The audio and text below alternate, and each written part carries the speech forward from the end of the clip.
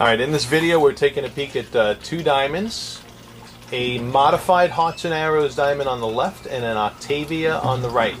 The modified Hearts and Arrows on the left is a 116 IVVS that we have here in the inventory, and the diamond on the right is the Octavia. It's a 119 JVVS, absolutely beautiful, new um, Asscher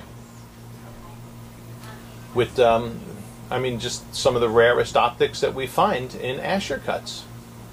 And there's our brightness and contrasting uh, between the two diamonds.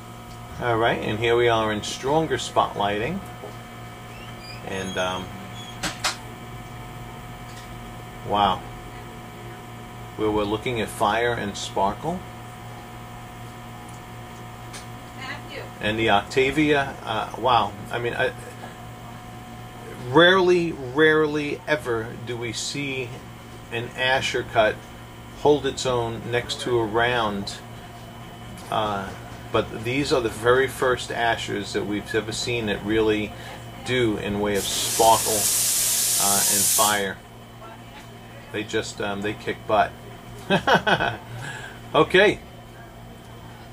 So that wraps up this comparison of the round modified Hearts and Arrows and the Octavia.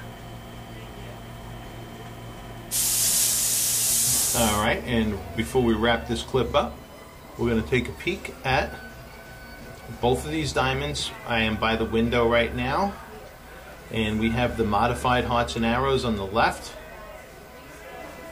with the long lower half facets, I mean, which is a stunning, beautiful sight to behold. But so is that Octavia. Okay, so this is a good video not only for optical comparisons, but also um, perhaps spread in size comparisons because the diamond on the left is a 116 and the diamond on the right is a 119. Okay, um, it's not a huge sacrifice in size um, as you look at the two side by side. There's a little bit of a difference, but I don't think it would be um, an earth shattering difference. Okay, thank you for watching and I hope this has helped.